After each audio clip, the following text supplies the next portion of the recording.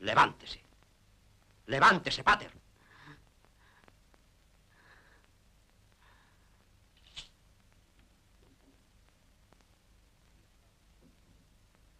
En cierta ocasión le dije que su misión sería difícil. Lleva usted un uniforme y una estrella. Este no es un puesto de comodidad, sino de sacrificio. No puede eludir el cumplimiento de su misión, por dura y desagradable que sea. Como sacerdote y como oficial, su puesto está aquí, aquí, sin flojedades de espíritu, sin concesiones. Luche, vénzase a sí mismo y rece.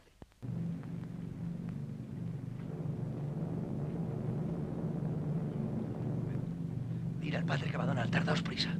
Ahora es imposible, ha empezado el canon y no puedo dejar la misa. ¡Dispersaos! ¡Deprisa!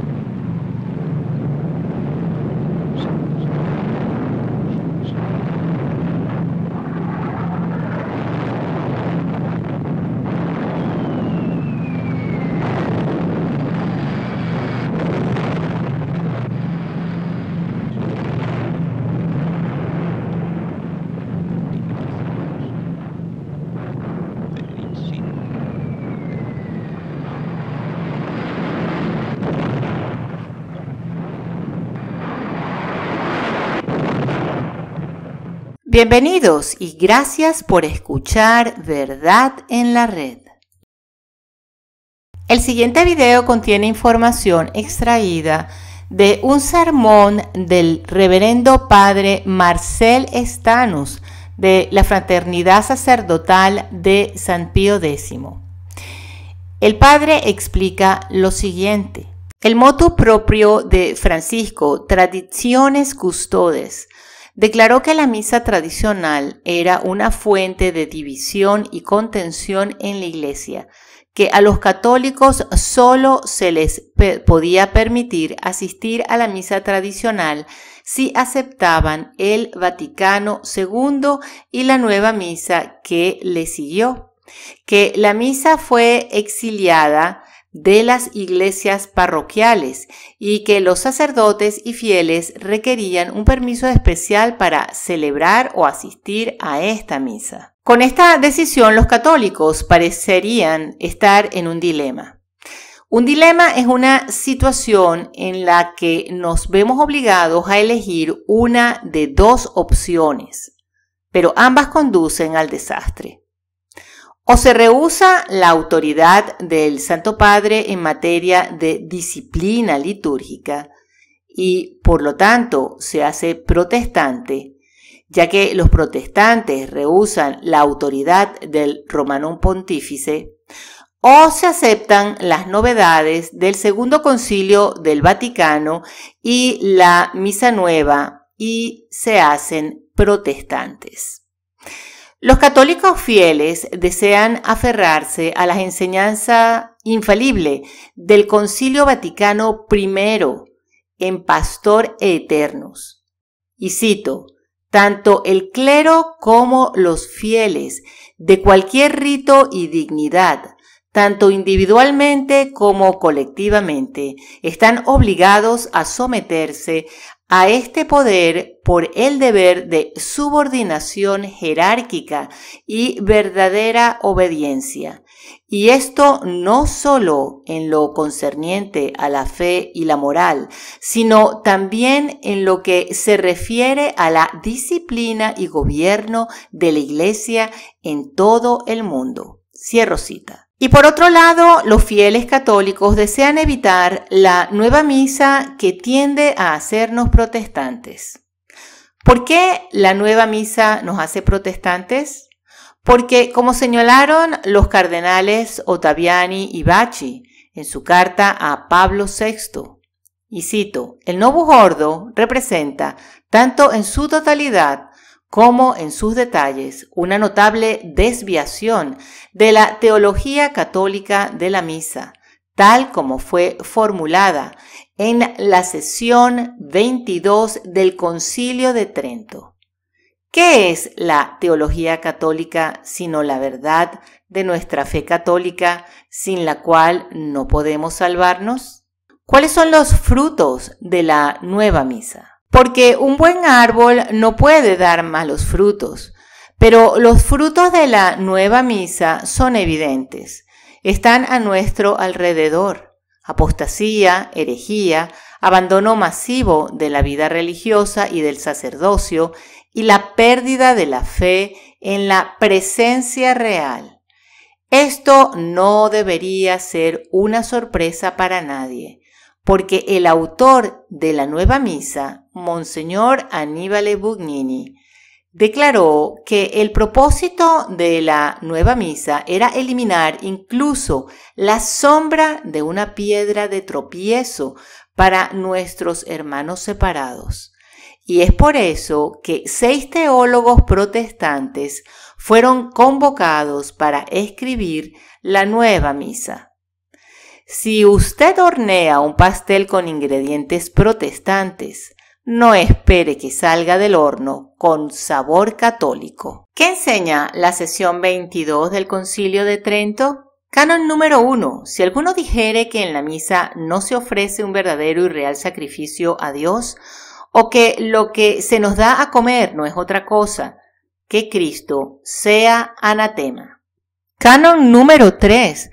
Si alguno dijere que el sacrificio de la misa es sólo de alabanza y acción de gracias, o que es una mera conmemoración del sacrificio consumado en la cruz, pero no propiciatorio, o que solo aprovecha al que recibe y no debe ofrecerse por vivos y muertos, por pecados, penas, satisfacciones y otras necesidades, sea anatema. Canon 6. Si alguno dijere que el canon de la misa contiene errores y por lo tanto debe ser abrogado, sea anatema. Canon 7. Si alguno dijere que las ceremonias, vestiduras y signos exteriores que la Iglesia Católica usa en la celebración de las misas son incentivos para la impiedad más que estímulos para la piedad, sea anatema. Canon 9. Si alguno dijere que el rito de la Iglesia romana, según el cual una parte del canon y las palabras de la consagración se pronuncian en voz baja, debe ser condenado, o que la misa debe celebrarse solo en lengua vernácula, o que no debe mezclarse agua con el vino que se ha de ofrecer en el cáliz, porque es contrario a la institución de Cristo, sea anatema. El concilio de Trento fue extremadamente claro porque estaba apuntando a los perniciosos errores de Martín Lutero, quien dijo lo siguiente, Habiendo triunfado sobre la misa, creo que hemos triunfado sobre todo el papado, porque sobre la misa como sobre una roca se edifica todo el papado con sus monasterios, obispados, sus colegios, sus altares, sus ministros, su doctrina y se apoya en él con todo su peso. Y todas estas cosas deben caer con la misa sacrílega y abominable.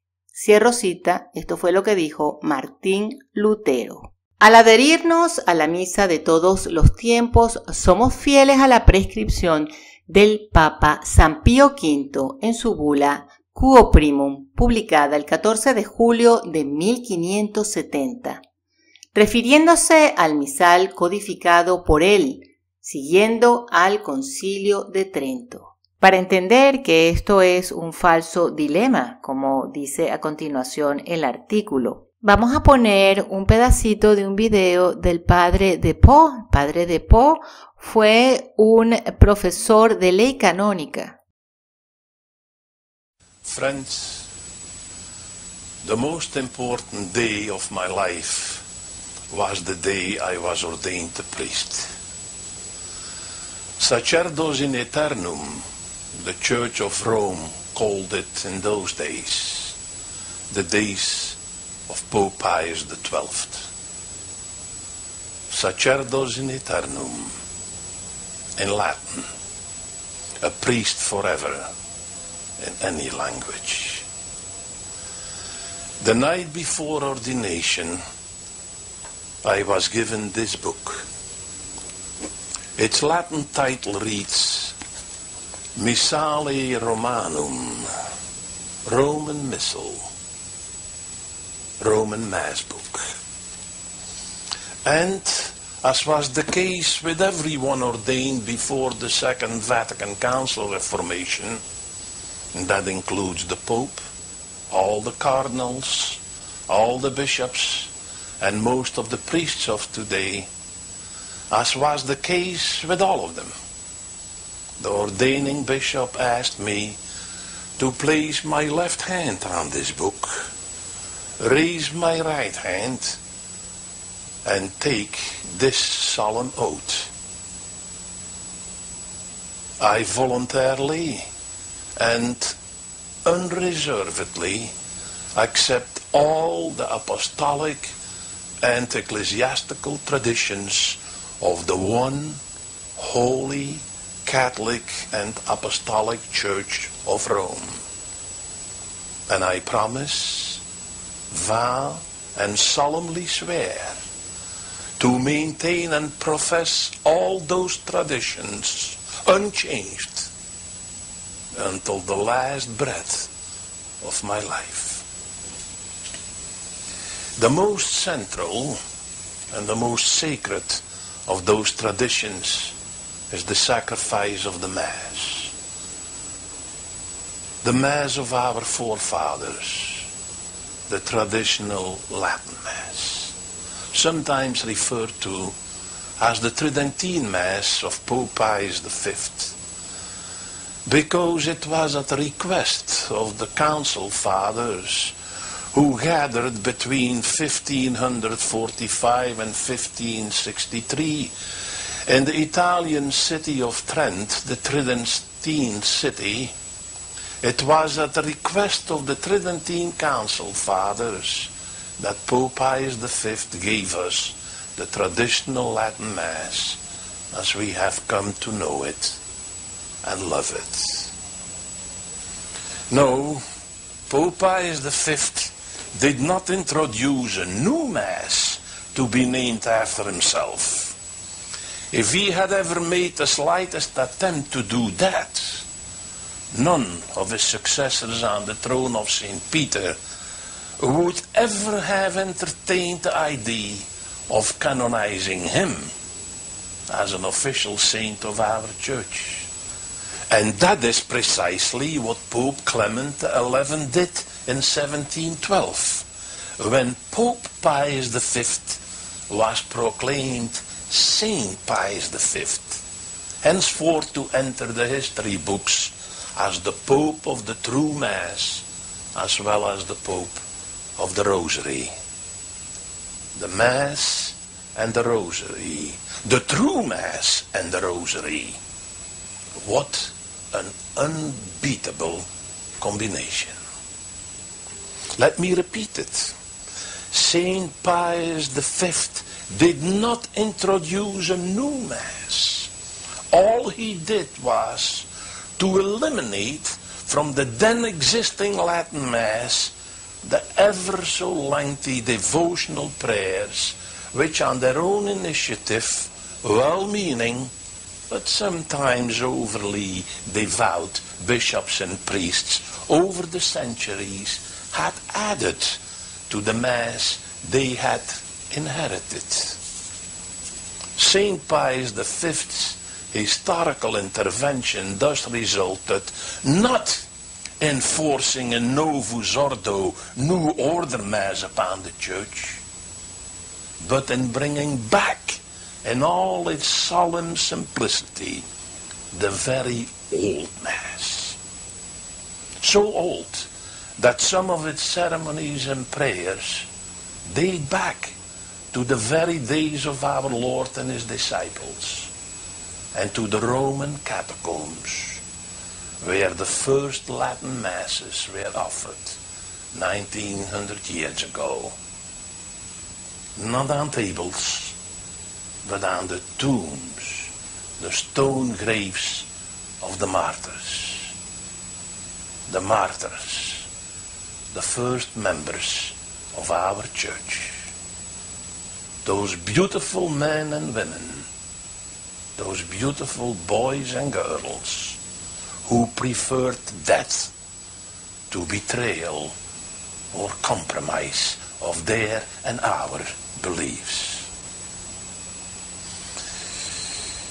The apostolic constitution by which St. Pope Pius V brought back the original Latin Mass was dated July the 19th, 1570.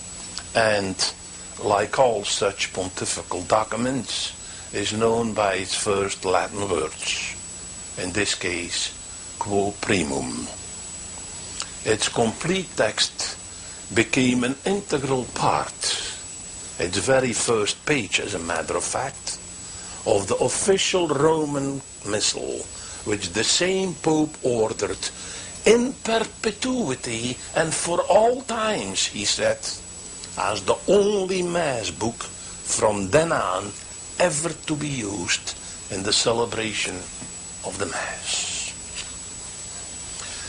Very rare indeed are the occasions in history when a pope unequivocally tells the world that he is using the fullness of his apostolic authority as supreme pontiff of Christ's church to issue a decree binding in perpetuity and for all times, and threatening those who would dare to violate it, not just with excommunication from the church, but with God's very own vengeance. One such rare papal decree was St. Pius V's quo primum dealing with the traditional Latin Mass. And I quote, literally translating from the Latin text in front of me. By this our decree, to be valid in perpetuity, we determine an order that never shall anything be added to, omitted from, or changed in this missal. At no time in the future can a priest ever be forced to use any other way of saying Mass. And so as to preclude once and for all any scruples of conscience and fear of ecclesiastical penalties and censures, we herewith declare that it is in virtue of our apostolic authority that we decree and determine that this our present order and decree is to last in perpetuity and can never, never be legally revoked or amended at a future date. And if anyone would nevertheless ever dare to attempt any action contrary to this order of ours, given for all times, let him know that he has incurred the vengeance of the blessed apostles Peter and Paul and of Almighty God Himself. Friends, it is by virtue of that apostolic decree quo primum and standing on the solid, dogmatic, moral, and canonical grounds this decree provides. And as a former major seminary professor who served as theological and canonical advisor in Rome during the Second Vatican Council, I should be capable of correctly evaluating such documents. It is by virtue of that apostolic constitution given for all times that I am, that I am offering the traditional Latin Mass today. In exactly the same way I did it for the first time almost half a century ago. When my mother the church gave me and all her priests this unique bilaterally binding and irrevocable privilege a privilege and contract I intend with God's grace to hold on to and live by as I solemnly swore till the last breath of my life. Así que el dilema presentado es un falso dilema, es decir, tiene solución.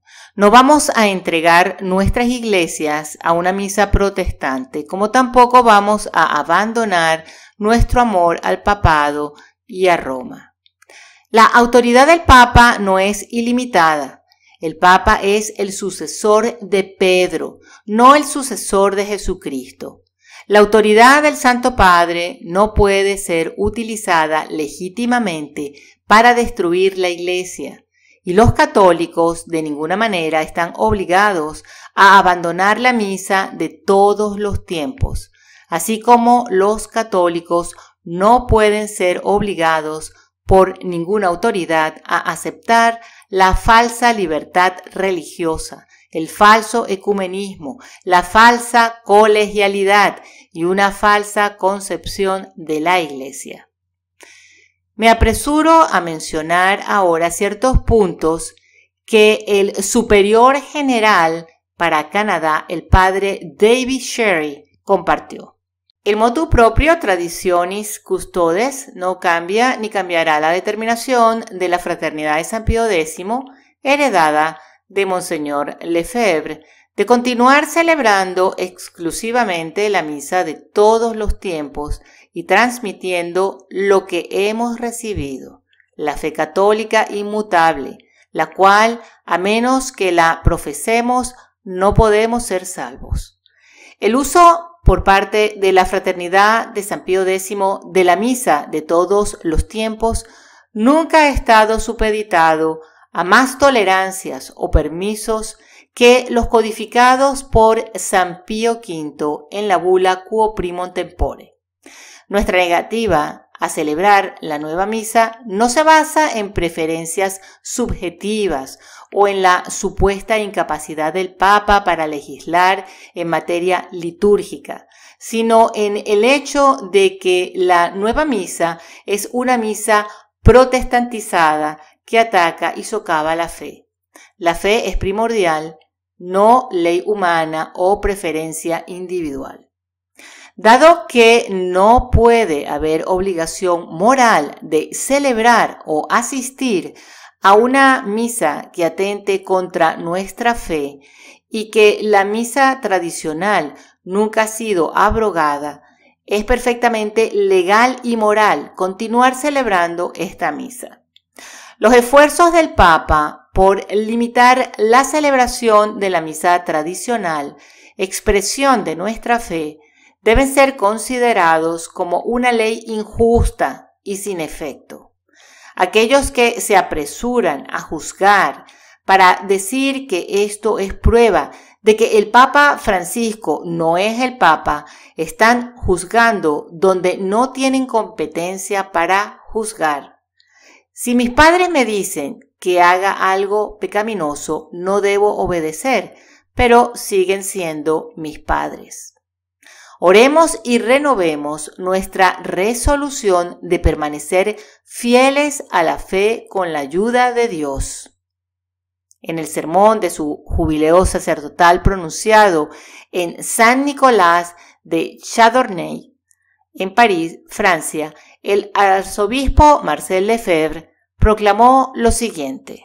Mis muy amados hermanos, terminaré con lo que llamaré mi testamento, las palabras que recita el sacerdote en la consagración de la preciosa sangre. Esta herencia de Jesucristo que nos dio es su sacrificio, es su sangre, es su cruz, el fermento de toda la civilización cristiana y de todo lo que es necesario para la salvación. Y os digo también, por la gloria de la Santísima Trinidad, por el amor de nuestro Señor Jesucristo, por la devoción a la Santísima Virgen María, por el amor de la Iglesia, por el amor del Papa, por el amor de los obispos, de los sacerdotes, de todos los fieles, por la salvación del mundo, por la salvación de las almas. Guardad este testamento de nuestro Señor Jesucristo. Guardad el sacrificio de nuestro Señor Jesucristo. Mantengan la misa de todos los tiempos. Bueno, hasta aquí la homilía del Padre Marcel Estanos donde nos explicó la importancia que es aferrarse a la misa tradicional y a la tradición en general, y que no hay ningún dilema. Esto es lo que hay que hacer. Vamos a ver ahora cómo siguen las cosas después de este sínodo de la sinodalidad ahora en el mes de octubre, que más bien pareciese el sínodo del desmantelamiento de la Iglesia Católica, porque van a querer aprobar cosas que son contrarias a la ley de Dios, contrarias al Evangelio y contrarias a lo enseñado por la Iglesia hasta antes del Segundo Concilio del Vaticano. Io non voglio che cambiano la mia fede, mai, mai, mai. La fede cattolica è la fede cattolica, il credo è il credo, non si può cambiare il credo, non si può cambiare. catechismo. Non si può cambiare la messa, facere una messa un bronzo.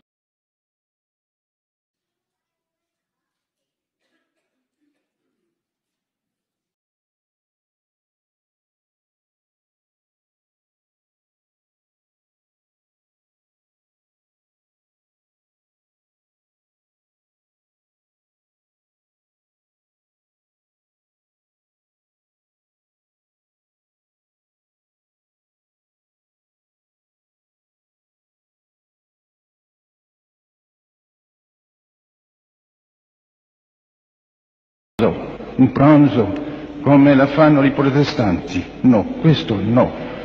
la messa è un sacrificio, è il sacrificio della croce. Come dice il Concilio di Trenta, il sacrificio della messa è il sacrificio del Calvario. È lo stesso, è lo mismo, soltanto che uno è sanguinoso, l'altro non è sanguinoso. La sola differenza. Tutto è lo stesso lo stesso sacerdote, Gesù Cristo, la stessa vittima, Gesù Cristo. E allora se veramente la vittima è Gesù Cristo sull'altare, ma dobbiamo adorare da tutto il nostro cuore, da tutta la nostra anima Gesù Cristo, Dio, Dio che è il nostro creatore, il nostro redentore, che lui ha tutto, tutto il suo sangue per le nostre anime. Allora è impossibile di prendere nelle mani, di andare così nel corpo di Gesù Cristo come se c'era un, un pezzo di pane. No, mai. È impossibile per un cattolico, un cattolico che crede veramente che nel Santissimo Sacramento c'è il Signore Gesù Cristo, stesso Dio. il nostro redentore, il nostro giudice che verrà sulle nubi del cielo per giudicare il mondo intero? No, no, no, no, è impossibile di non avere questo rispetto, questa adorazione. Allora io come loro forse sono scandalizzati, sono tristi e un dolore nel cuore di vedere anche alcune volte alla televisione delle cerimonie cattoliche dove c'è un cardinale, dove c'è un vescovo, dove c'è... ma senza rispetto del Sacrosantissimo vengono a prendere l'Eucaristia senza fare una genuflessione, niente, niente, niente. Ma questo non è possibile. Questo non è la Chiesa cattolica, no, no, no. Allora dobbiamo mantenere questa fede. Dans les plus hautes instances de l'Église, le Saint-Siège et le Vatican lui-même détournent, nous détournent de la foi catholique, deviennent les amis de nos ennemis. Le dernier événement en date, c'est la réception de Cadar au Vatican, celui qui a versé le sang des catholiques, qui a versé le sang des Hongrois. On excommunie ceux qui gardent la foi catholique et l'on entre en communion avec tous les ennemis de l'Église. On entre en communion parce qu'on lève l'excommunication. Cette excommunication qui existait, on la lève contre les communistes, contre les francs-maçons, contre les orthodoxes. Que veut dire ce baissement du pied des schismatiques, des hérétiques, ces embrassades avec les hérétiques, les schismatiques, les communistes, les francs-maçons. Nous ne comprenons plus, nous ne comprenons plus. Ce n'est plus notre Église, ce n'est plus notre Église catholique, ce n'est plus notre foi catholique. Nous voulons rester, demeurer catholiques. Et c'est pour cela que nous refusons, nous refusons de collaborer à la destruction de l'Église. Nous refusons de collaborer à la perte de la foi, à l'apostasie générale. Et nous savons parfaitement que si nous ne faisons pas ces ordinations, que si nous arrêtons, on, ne nous donnera rien. Nous le savons parfaitement. Nous ne pouvons pas nous empêcher de penser qu'il y a à l'intérieur de l'Église des mercenaires, des loups et des voleurs. Allons-nous prêter la main à ces mercenaires, à ces loups, à ces voleurs? Nous ne le pouvons pas. Mais nous dira-t-on, Qu'allez-vous devenir? Eh bien, ce que nous allons devenir, je dirais tout simplement, notre avenir, c'est notre passé.